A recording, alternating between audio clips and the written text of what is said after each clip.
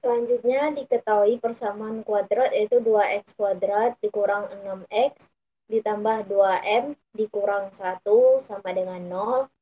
Untuk nilai alfanya yaitu 2 beta yang ditanya menentukan nilai n dari persamaan kuadrat tersebut.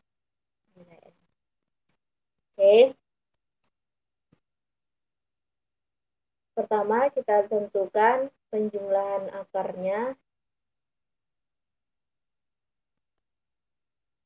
yaitu alfa ditambah beta sama dengan min B per A hasilnya 6 bagi 2 sama dengan 3 untuk e, perkaliannya yaitu alfa kali beta sama dengan C per A hasilnya yaitu 2M dikurang 1 bagi dengan 2 hasilnya 2M kurang 1 bagi 2 Oke selanjutnya kita tentukan e, penjumlahan akar barunya untuk menentukan nilai M-nya. Maka alfa tambah beta sama dengan 2 beta tambah beta maka hasilnya 3 sama dengan 3 beta.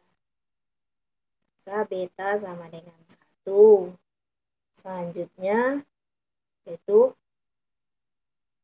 alfa kali beta sama dengan 2 beta kali beta maka hasilnya 2M kurang 1 bagi 2 sama dengan 2 beta kuadrat. 2M kurang 1 bagi 2 sama dengan 2. Maka 2M kurang 1 sama dengan 4.